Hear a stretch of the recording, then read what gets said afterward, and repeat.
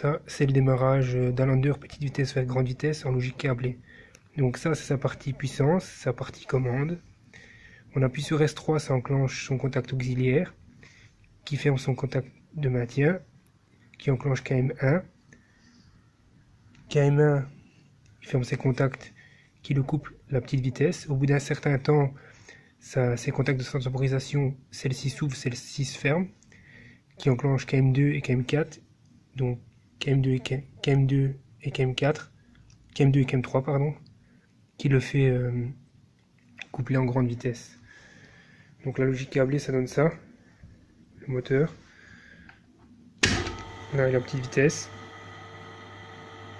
grande vitesse, stop, petite vitesse, grande vitesse.